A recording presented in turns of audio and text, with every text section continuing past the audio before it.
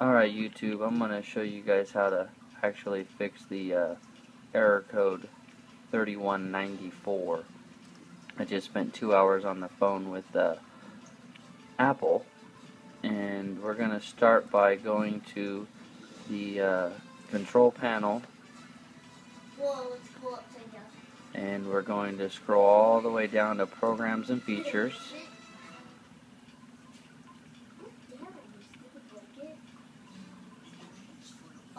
And of course my computer has to be running a bit slow. And we're going to start by removing all Apple programs. Apple software update, Apple mobile device support, and Apple application support. And then scroll all the way down to iTunes and uninstall iTunes. Now, when you uninstall iTunes, all of your media files and everything should stay where they're at, even if they're on an external hard drive. I just went through all this with uh, Apple. I didn't lose anything, and uh, after the install was complete, everything was uh, fixed and back to normal.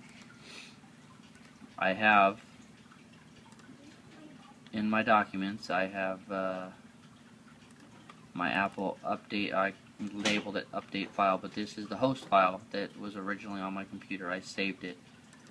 Okay, so what we need to do is first do all the uninstalls. Then you need to go to your computer, your local drive, go down to Windows, scroll down to System 32. Open that, go into Drivers, and up at the top you should see etc. ECT. Open that. Open your host file, and you're going to want to open it with Notepad. Click OK. You're going to take all of this here, everything you see here, in the host file, and you're going to you're going to copy and paste it in a new notepad. So open notepad. I don't remember where notepad is, but open and find notepad, copy and paste it. Okay?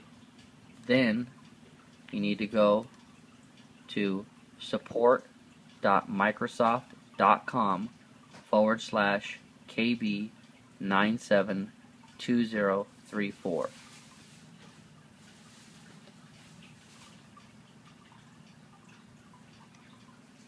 And then in here you will see host files.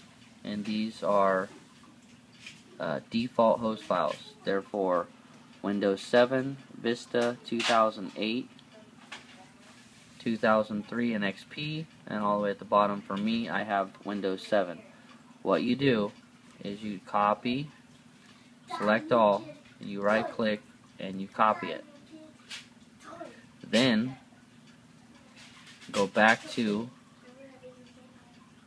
your uh, host file. I don't remember where it was. Oh, here it is. Go back to your host file, open it, and then select all here, delete it, and then right click and paste everything back in there. So now that you have a default host file, start with a fresh install of iTunes. Being the latest version now is iTunes 11. Once you do that, you should be able to now update your iPhone, iPad, iPod without any more error codes 3194. Thanks for watching and I hope this works and uh, I'm not too uh, good at doing these YouTube videos so I will try and put a uh, link down there for the uh, host, the host files on Microsoft. Thanks for watching. Bye.